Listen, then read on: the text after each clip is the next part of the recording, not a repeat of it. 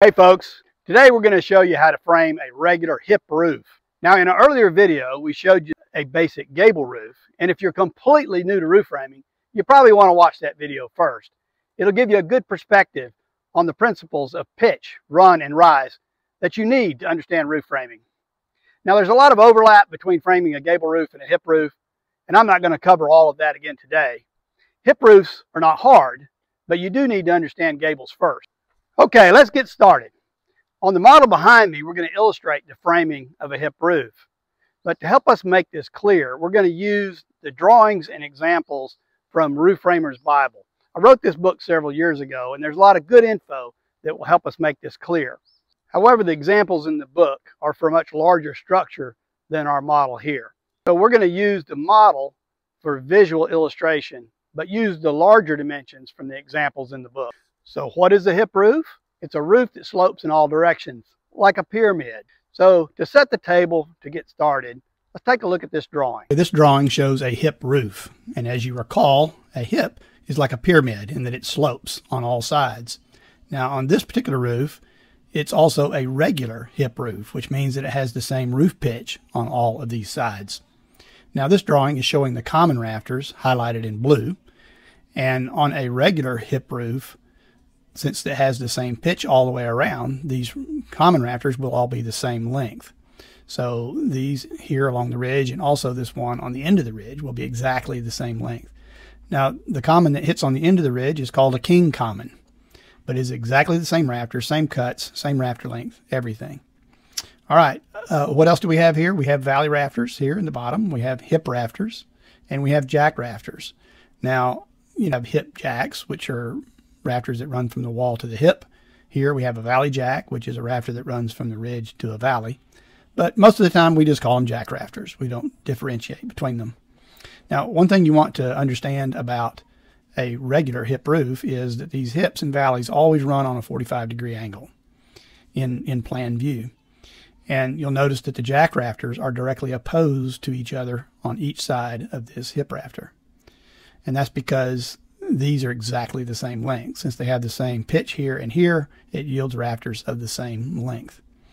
Now, they'll have opposite angles on them. You'll have a, a, a, left jack and a right jack, but the rafters themselves overall have the same length.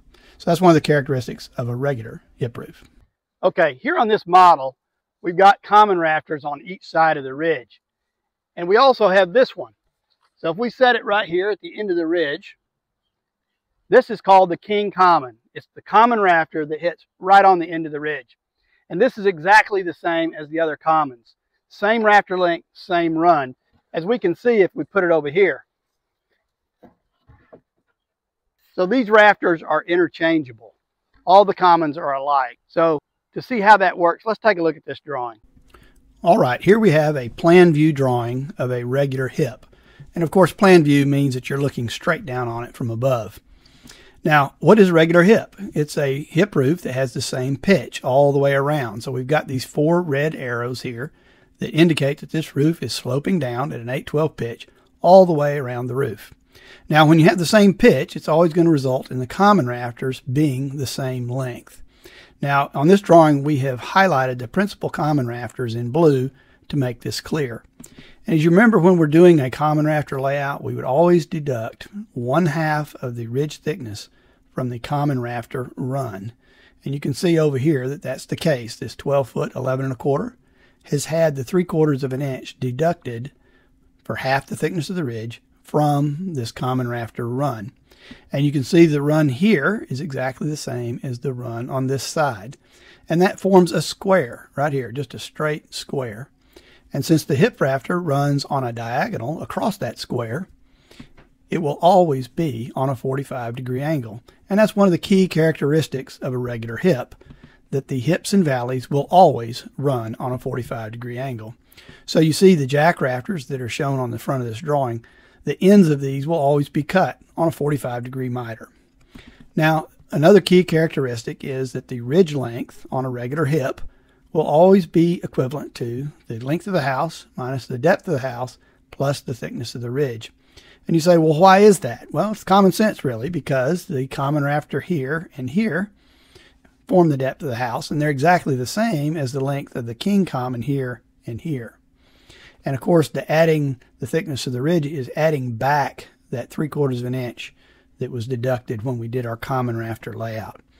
So to recap, the key characteristics of a regular hip are that the common rafters will be the same length, the hips and valleys will run on a 45 degree angle, and the length of the ridge will always be equivalent to the length of the house minus the depth of the house plus the thickness of the ridge, which in our case here is six foot one and a half inches. Now I would note that the common rafter run here is indicated going to the end of the rafter tail. And I really would recommend that you get in the habit of doing that. And that's particularly true on an irregular or bastard hip roof because it'll help avoid a lot of confusion. So these common runs in this drawing are figured to the end of the overhang.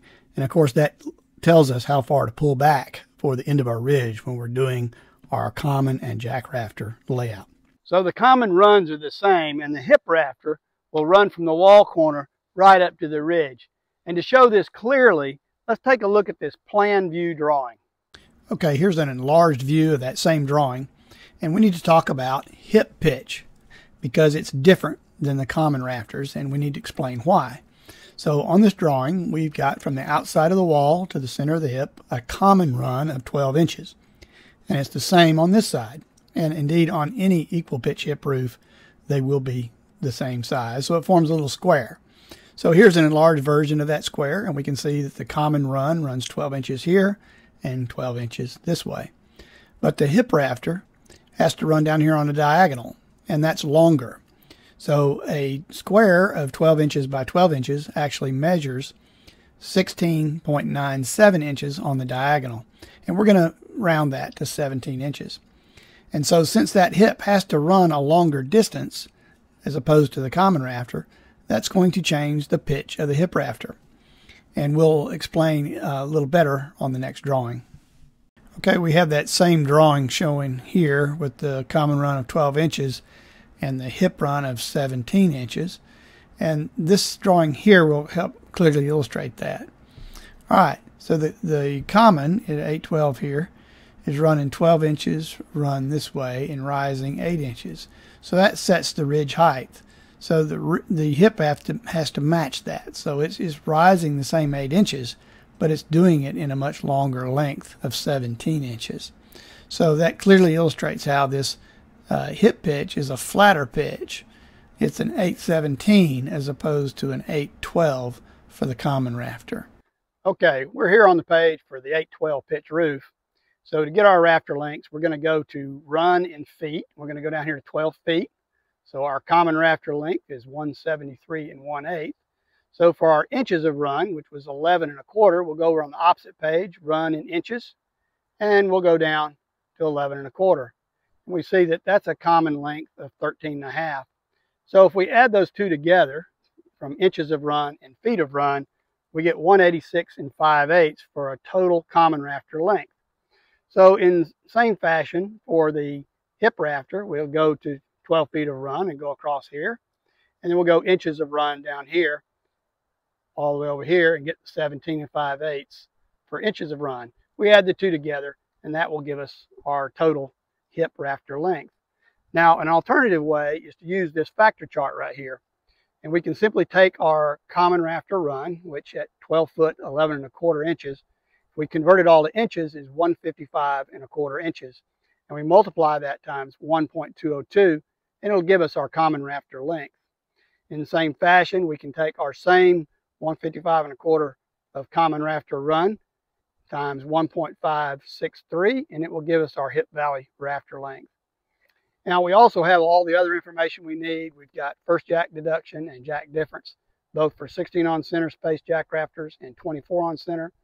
We've got our hip pitch, hip drop, hip backing bevels, all of our cuts for square cut rafter tails, and also sheathing cuts. These are very helpful for cutting our roof decking uh, very quickly and accurately. So a lot of good information all right here on page 48 of Roof Framers Bible. Okay, we cut our common rafters and we set them. We've got the last common rafter here going right to the ridge and the king common going to the end of the ridge.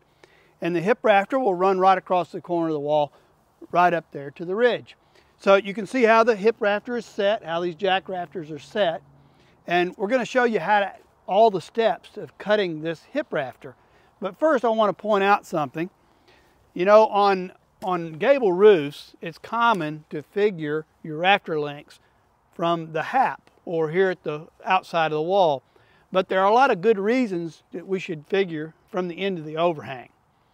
Now, you know, this is especially true for bastard hip roofs because you've got different pitches, different plate heights. It's very much uh, in your interest to figure from the end of the rafter tail.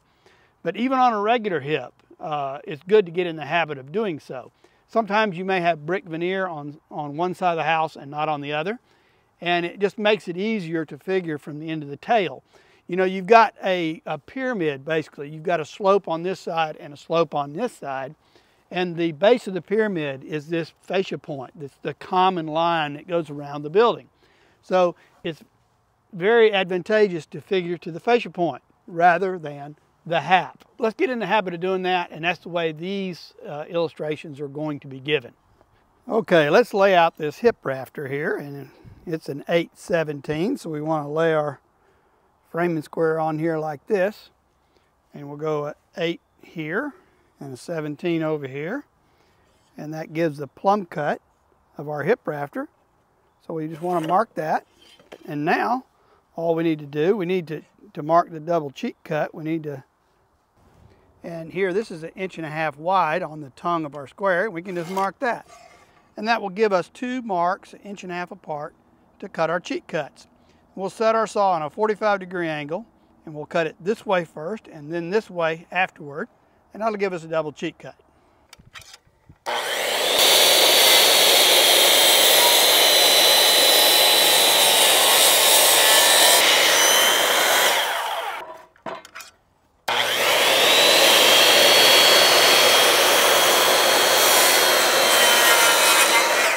And see, now you can see that that's got our double cheek cut right there. Ready to go for our hip rafter. Okay, we've got our hip rafter here. We need to lay it out, so we just hook the end of the double cheek cut right on the end, pull down along the top of the rafter, and we'll pull all the way down to the end of the tail and make a mark. All right, we've marked our rafter length to the end of the hip tail. As you recall, we're going to figure all our rafter lengths from the end of the tail rather than the hap. So we're going to throw a frame square on here. And remember the hip pitch is an 817. So we're going to put an 8 here and a 17 over here and mark our plumb cut. This is the plumb cut on the end of our hip tail. And we need to bob off the bottom. You remember for the 1 6 fascia, we want 4 inches. So we're going to throw a frame square on here. Going to align it with our plumb cut, come down 4 inches from top of the rafter, and mark it to bob off the end of our tail. All right, we figured our rafter length here to the end of the tail, and we need to put our bird's mouth on there, so we'll lay that back out from the end of the tail.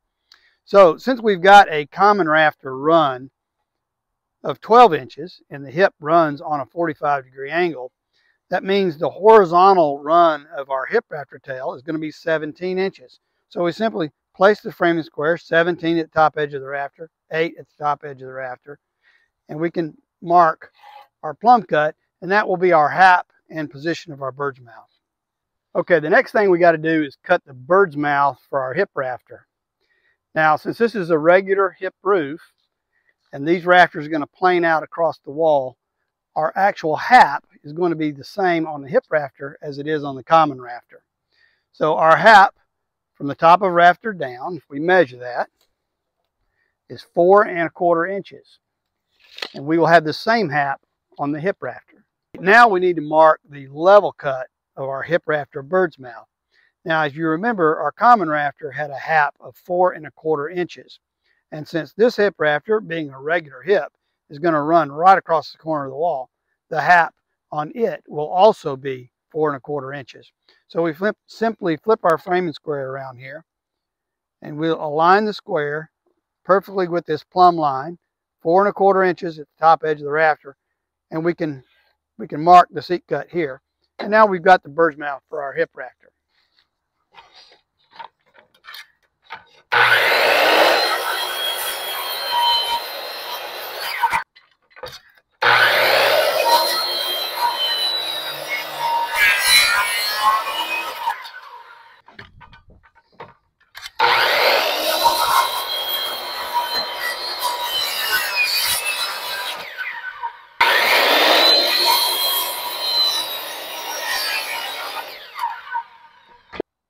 Now we place that hip, and you notice the double cheek cut on the end of the tail. We place that hip, and it goes right up there to the top of the ridge. Here at the top of the hip, the center line of the hip, or the tip of the hip, is right here flush with the corner of the ridge. But you'll notice that it's not flush with the common.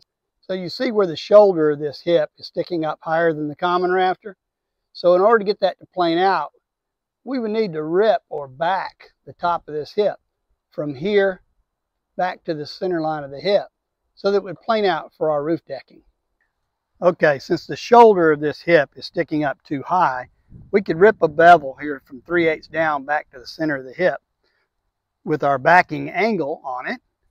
Or as an alternative, we could simply cut out right here along the seat cut of the bird's mouth the same 3 eighths of an inch and just allow the entire rafter to drop straight down. And that would put this shoulder right down here at the line where we need it to for the jack rafters to plane out. So we can do it that way or we can back the hip, which we'll show you in just a second. Okay, let's take a look at hip rafter backing and cheek cuts. Now, as you recall, the hip and valley rafters will always be running on a 45 degree angle, that is for a regular pitch hip. And the center of that hip will be the intersecting point of the roof plane on one side and the roof plane on the other. So if we were to align this center line of the hip rafter right to the ridge, it would result in the shoulders of the hip, meaning this corner of the hip right here, of actually being too high because the jack rafter here is coming up. And remember, it's going to uh, intersect with the center of the hip. And so this corner actually needs to be ripped off and show this bevel. So for on the 812 roof we're doing, that would be a 23 degree bevel that you would rip from the center line of the hip down. And that would cause the jack rafters to intersect with this line right here and uh, with the center line of the hip. Now, in reality, uh, you almost never do this. An alternative to ripping a hip backing bevel is to simply drop the hip. And so if uh, this shoulder right here is too high, you can simply cut the bird's mouth a little deeper and then just drop the entire hip down by the amount of the hip drop. And that would put this corner of the ridge, or the hip rather, right in line with the jack rafters and eliminate the need to rip these backing bevels. Okay, let's take a look at the cuts on the end of the hip rafter. Now, the end of this hip is going to jam up into the corner formed by the king common and the first common on the side. And so it, it would need to look like this. This is uh, looking straight down on the top of that end of the hip. And uh, the hip is uh, inch and a half thick or wide. And so these are going to be a cut on a 45 because we are dealing with a regular pitch hip. And so half of that distance would be three quarters of an inch. And that would be our cheek cut. We would cut a bevel on the end of this hip rafter, 45 on this side and a 45 on this side. So this number right here, if you pulled back on the horizontal, would be three quarters of an inch. So those are the cuts for a hip rafter, and we'll uh, go over the hip drop uh, a little more in another drawing. Here's another drawing of it. You'll see how the top edge of this hip rafter, if we were to bring the hip rafter to square on the top like this and put it at the top of the ridge, it would be too high. The jack rafter running up here on this side of the hip, planing out with the center of the hip, would make these shoulders stick up high. So we could cut that 23 degree bevel on there if we wanted to, as shown in the earlier drawing, or we can simply drop the hip, and for this 812 pitch, it'd be 3 eighths of an inch. We could drop it down. So now the hip rafter is here, and so the jack rafter is playing out nicely with the corners of the hip.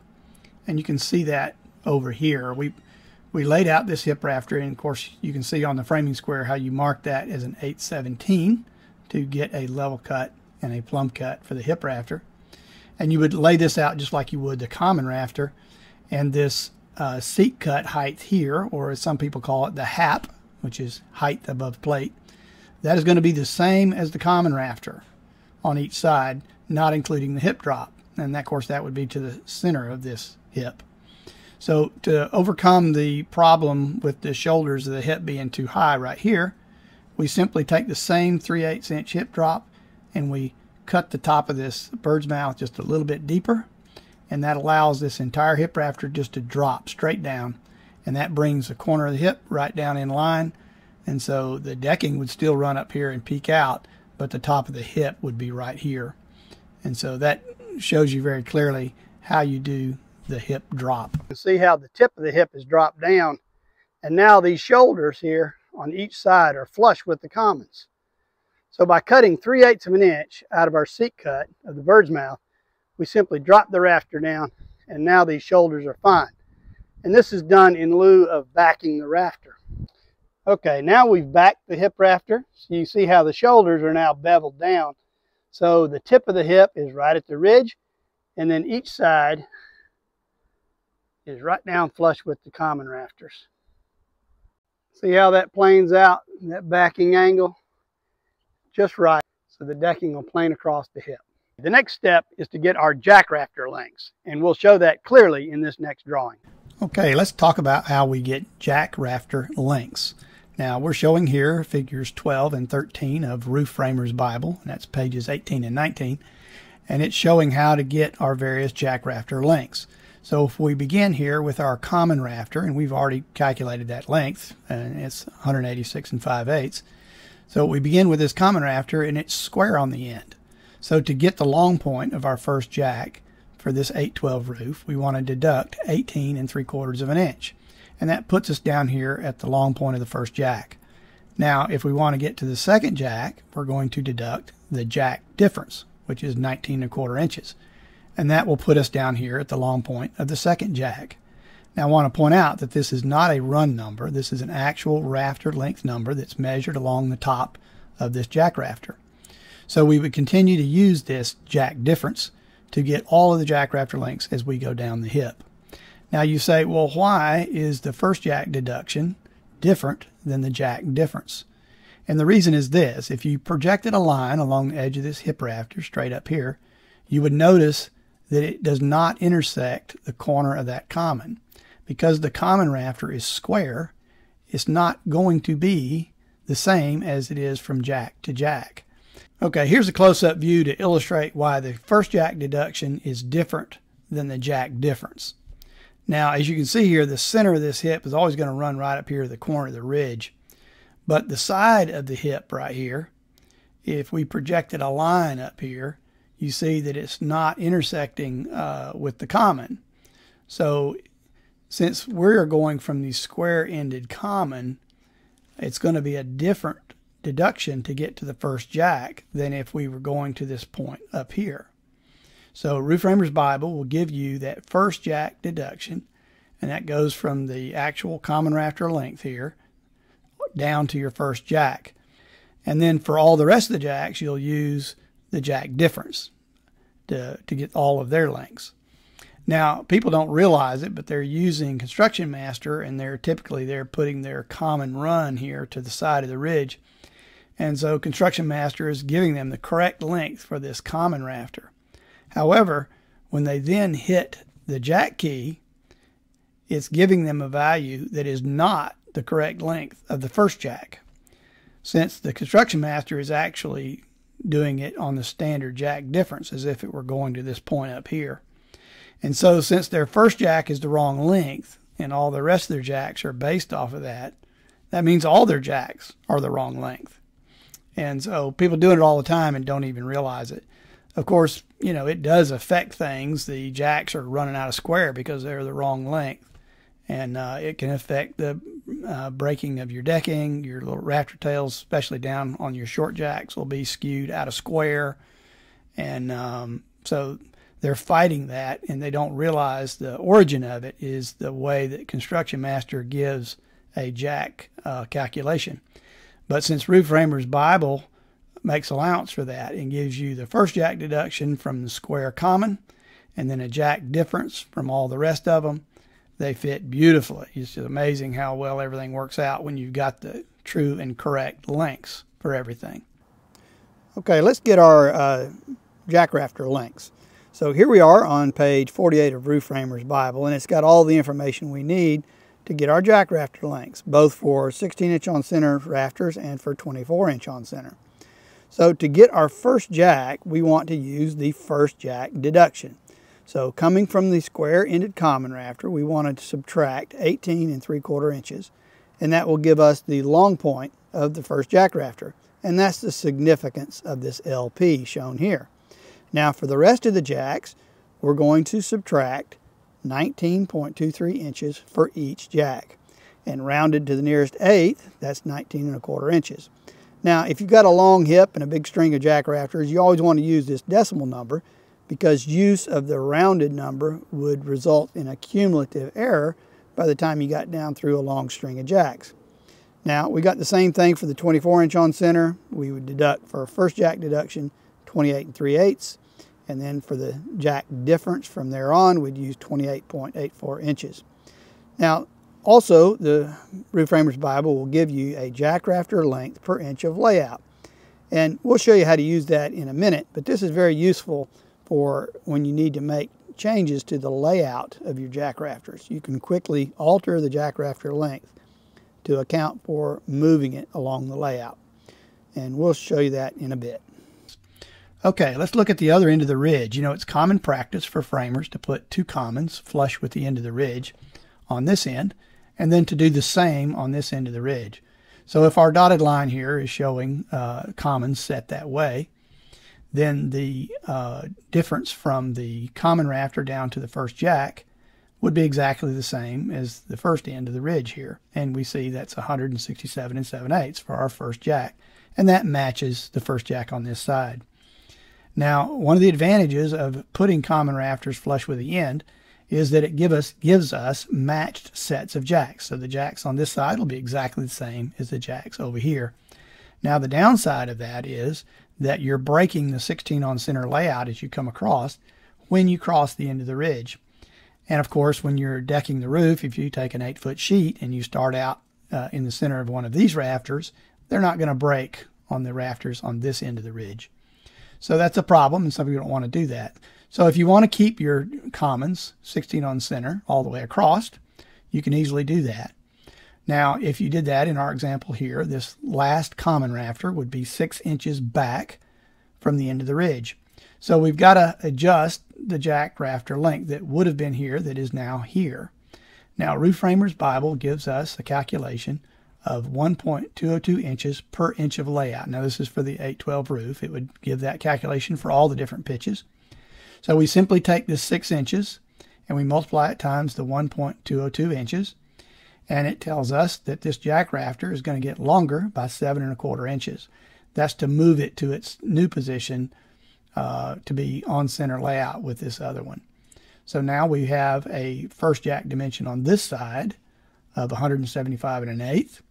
Now to get from it down to the second jack on this side, we simply do the same jack difference deduction of 19 and a quarter, and that gives us our second jack length. And we'll continue to make that same jack difference deduction all the way down the hip until we've got all of our jack rafters. So that's a quick and easy way to get all of our jack rafter lengths, uh, regardless if we're keeping commons flush with the end of the ridge or if we're maintaining our 16 on center layout across the entire roof. Okay, now we got our common rafter over here. We need to lay out our jacks. So butting it, we're going to mark 16 and 32 for our 16 on center jack rafters, and we're ready to set our jacks.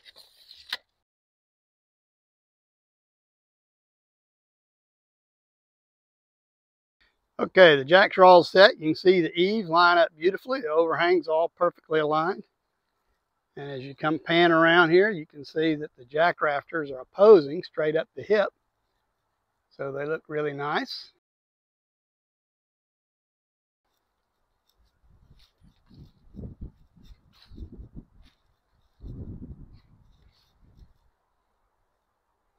Okay, we're ready to deck this roof. And if we're going to put a full sheet on here, we need to know what angle to cut on it where it runs up along this hip rafter. Now, normally you would be dependent on somebody up on the house to give you those dimensions, but Roof Framers Bible makes this really easy. We know exactly what those angles are going to be. You know, if we had a common rafter and we could pull either a long point or a short point, we can quickly get the correct angle. Or if we've got a roof that has a hip running down here and it turns the corner and very quickly breaks up a valley rafter, we don't have a square corner to pull from. But no worries, because Roof Framers Bible tells us exactly what those angles are.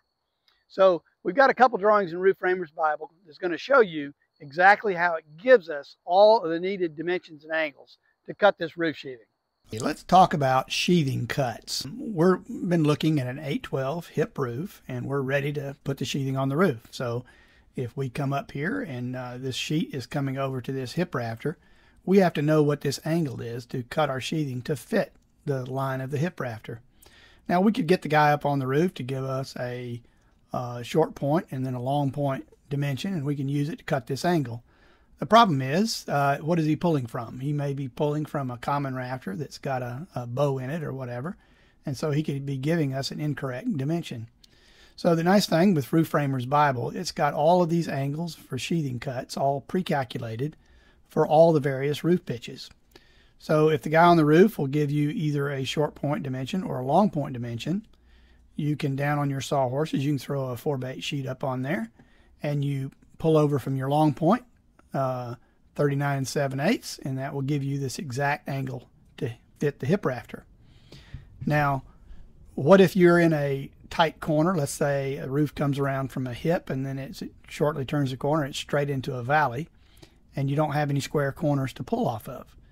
Well, in that case, we also have it as a framing square uh, cut dimension. So if you throw a framing square up on there, 9 and 7 eighths over here on the tongue and 12 inches on the body of the square and it will give you that exact same angle.